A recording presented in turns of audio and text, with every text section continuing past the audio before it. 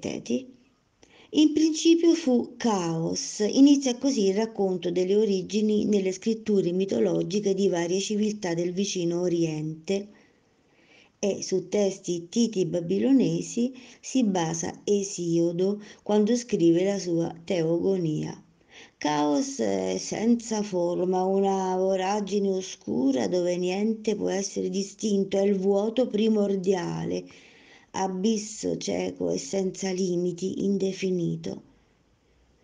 Poi arriva il tempo dell'ordine, anzi non il tempo perché ancora Cronos non è creato. Arriva il bisogno di una logica perché una logica ancora non c'è dal buio del buco più nero, più scuro, dal rumore sordo che si diffonde all'infinito e rompe quel muro del suono e persiste in eterno, si può ancora sentirlo. Si stacca un grumo di materia complessa, si contorce, assume la forma più bella e completa. È un'urna segreta che contiene il tutto, l'inerte e il vivente. Gea conosce il suo potere, lei sente la forza creatrice che ha dentro. Da sola lei genera Urano, da sola lei genera Ponto. Poi con loro lei genera un'infinità di creature che restano eterne, gli dei primordiali. Tra queste creature troviamo titani e titanidi, in particolare Oceano e Teti. No, non si tratta della ninfa del mare madre dell'eroe più famoso della guerra di Troia, ma di una dea che con il suo compagno e fratello genera migliaia di esseri acquatici, fiumi, sorgenti, fonti. È una coppia generosa e pacifica che rifiuta di intervenire nella guerra tra gli altri titani e gli olimpici.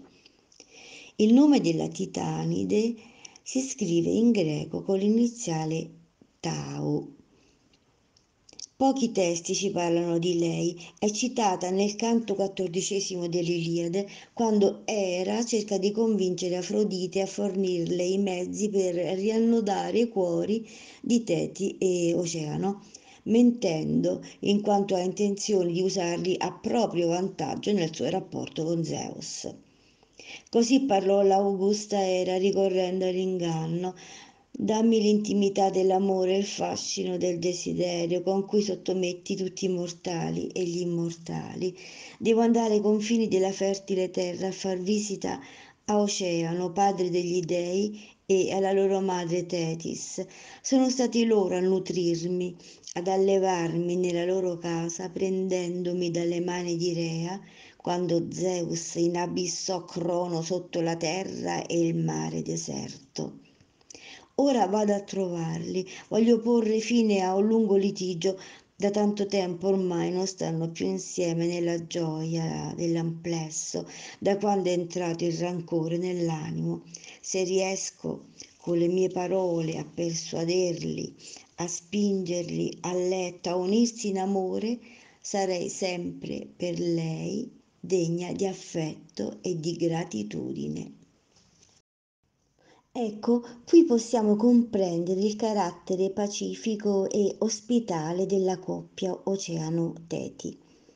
Essi infatti hanno ospitato Era quando, spaventatissima, si era rifugiata da loro quando la guerra squassava l'universo. E ancora Teti compare nel mito di Era quando l'aiuta a generare Efesto per parterogenesi, secondo la versione di Esiodo. La titanide Teti è legata ad Oceano, Teti è legata all'acqua, Teti genera il Nilo, l'Alfeo, il Meandro, le Oceanine. Il suo nome deriva forse da un termine accadico che significa mare, oppure da un termine greco antico che significa prendersi cura. E questa teti racchiude in sé pienamente i due significati. E poi c'è un'altra teti il cui nome in greco inizia con la lettera teta, che porta una pronuncia simile al TH inglese, ovvero Thetis, ma nella traduzione italiana resta sempre Teti o Tetis. Anche questa Teti è legata all'acqua e vediamo la sua genealogia. Agli albori del mondo ordinato, Gea, detta anche Gaia, oltre a generare per partenogenesi Urano, genera anche Ponto, che è la personificazione del mare in genere, il mare primordiale, una figura più astratta di oceano. Dall'unione di Gea con Ponto nascono Taumante, Forco, Ceto, Euribia e Nereo. Nereo è il dio delle profondità marine. Il suo nome rimanda Nearos fresco, acqua fresca. È una divinità amata dai greci per il suo carattere lieto, per la sua serenità e sapienza. Abita nel fondo del mare in una reggia luminosa con sua moglie Doride, una delle 3000 figlie del titano Oceano e della titanide Teti. La coppia genera almeno 50 figlie, le Nereidi, fanciulle dai capelli intrecciati di perle, di cui alcune spiccano per bellezza e per i legami con le altre divinità. Tra le Nereidi troviamo la Teti, cui abbiamo accennato, e sarebbe, usando i nostri parametri moderni, la nipote dal lato materno della Teti titanide. Anche lei è quindi legata profondamente alle acque, sia per ascendenza materna, oceano, che paterna, ponto. Teti, questa con la lettera iniziale teta, è bellissima ed è corteggiata appassionatamente da molti dei, che desistono dal corteggiamento solo quando apprendono da un oracolo che lei avrà un figlio che sarà più importante e forte del padre. Meglio evitare, si dicono Zeus e Poseidone, che conoscono bene i problemi di discendenza, hanno avuto esperienze con Urano, Cronos, eccetera. Ok, meglio vada in sposa ad un mortale, di rango naturalmente, ma un mortale che si prenda onori e oneri di una tale moglie. Ecco quindi che volente o nolente Teti si trova incastrata in un matrimonio col prescelto degli dei, Peleo, anzi sicuramente nolente. Questo Peleo è il figlio del re dell'isola di Egina. Ha una vita piuttosto movimentata tra fratricidi, fughe rocambolesche, spedizioni, eccetera. Arrivato a Ftia, sposa Antigone, la figlia del re del luogo, e di nuovo un incidente mortale in famiglia, di nuovo fuga all'estero. Arrivato a Iolco, avendo respinto le avance della regina, è accusato da lei di averla importunata, storia vecchia che ritroviamo periodicamente in narrazioni di molti popoli, eccetera, eccetera. Poi finalmente conosce Teti, la nostra Teti con la teta iniziale. La Nereide vive nelle acque, ma ama andare a riposare di tanto in tanto in una caverna su una riva deserta, dove è trasportata da un delfino. Nel fresco della verde caverna dorme serena quando un giorno la scopre, certo non per caso, ma per volere degli dei, Peleo che subito è acceso dal desiderio di farla sua. Non sa che lei non è una fanciulla normale, ma una divinità esperta in trasformazioni.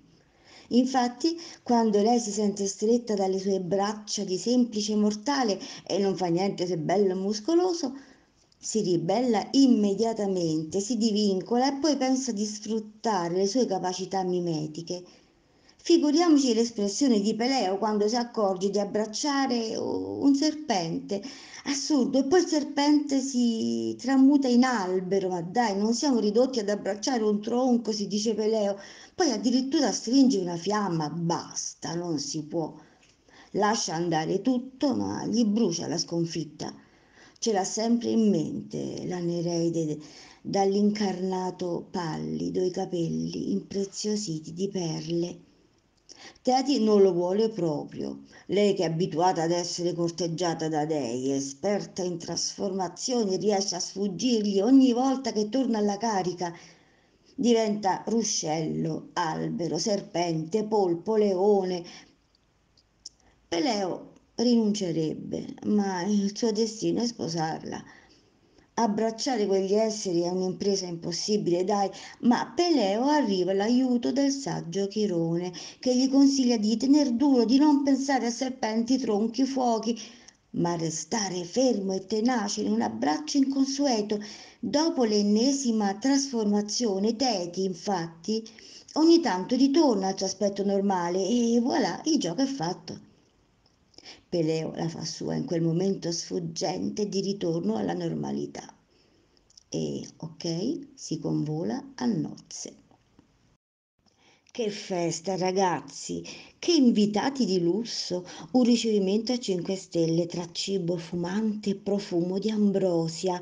Le muse ci sono proprio tutte a rendere speciale l'evento ma la lista degli invitati ha una lacuna, una dea proprio no, non la vogliono gli sposi, è di un'antipatia unica, mette sempre zizzania. L'invito non è spedito, ma la notizia arriva comunque ad Eris. Già, si tratta di Eris, la dea della discordia, quella che è in grado di insinuarsi in un contesto, camuffarsi, restare per un po' piccola piccola e poi crescere a dismisura, quella che provoca un caso sbelli e poi scatena l'inferno. Ormai la conosciamo tutti, purtroppo. Non invitandola però i due sposi hanno comunque fatto un errore fatale. Lei arriva comunque nella sala del banchetto e lancia tra gli invitati una mela d'oro sottratta al giardino delle Esperidi. Sull'albero di queste mele c'è tutta una lunga storia. Sulla mela è scritto alla più bella. Tutti noi sappiamo come è andata a finire. La mela è assegnata da Paride ad Afrodite che gli ha promesso in cambio l'amore. Insomma, questa mela è l'origine della guerra di Troia. Gli sposi non riescono mai a perdonare Eris. Dalla loro unione nascono comunque diversi figli, tra cui Achille. Ecco, è lui il figlio troppo forte che non avrebbero gradito avere né Zeus né Poseidone. Man mano che nascono, la Madre Divina passa i vari figli sul fuoco. Sì, proprio così, una passata sulla fiamma e li rende immortali. Peleo non si accorge di niente probabilmente. Fa così anche con Achille Teti. Lo rosola un po' tenendolo per un tallone. Qualche autore dice invece che per i suoi intenti Teti si serve delle acque dello Stige, versione che io preferisco senz'altro. Però stavolta non rifinisce bene il suo lavoro bagnando il bambino completamente, il suo piccolo tallone resta asciutto e a noi è rimasta impressa questa inosservanza, tanto che cerchiamo in noi il tallone di Achille e lo troviamo nei posti più impensati, spesso nella nostra sfera emotiva. Peleo non gradisce tutti questi armeggi della moglie e lei si offende con questo marito mortale che non vuole capire le tecniche degli dei e se ne torna a vivere nelle sue dolci, fresche acque. Achille è affidato al saggio Chirone affinché gli fornisca una giusta educazione. Chirone lo introduce nel mondo della musica, della natura, della erboristeria e delle arti marziali. Di tanto in tanto la madre va a trovarlo, questo figlio bellissimo dai capelli d'oro, e gli dà consigli e informazioni. Lei è una dea e sa che lui è destinato a grandi cose, a grande fama nel mondo, certo tutta un'altra cosa rispetto a suo padre, anche se il patronimico gli resterà addosso, lo chiamano il Pelide, mica dicono il figlio di Teti. Ma così va la società maschilista. Lei conosce la forza del figlio e le sue potenzialità, ma sa altrettanto bene il suo destino, morire giovane dopo la morte del troiano Ettore, e così cerca in ogni modo di sottrarlo agli scontri. Ma per colpa della mela d'oro di Eris la guerra scoppia davvero. Teti ricorre allora a un espediente piuttosto strano. Fa nascondere il figlio tra le principesse alla corte del re Licomede.